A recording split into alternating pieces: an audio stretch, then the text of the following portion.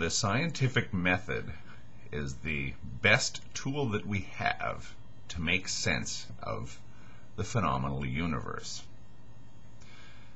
Think about that statement. And it's a statement that I actually agree with, as a matter of fact. But that aside, think about that statement. The scientific method is the best tool that we have to describe the phenomenal universe. Is that statement a reflection of the infallibility of the scientific method?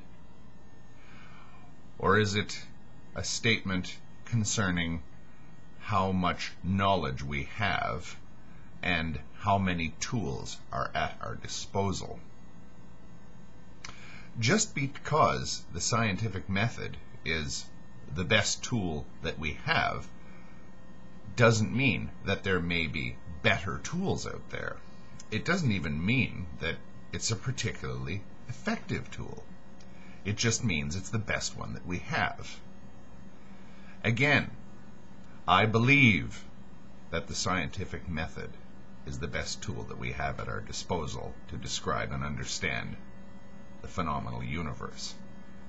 I'm not trying to attack the scientific method, but I think that we need to see it for what it really is and what its limitations are. Thank you.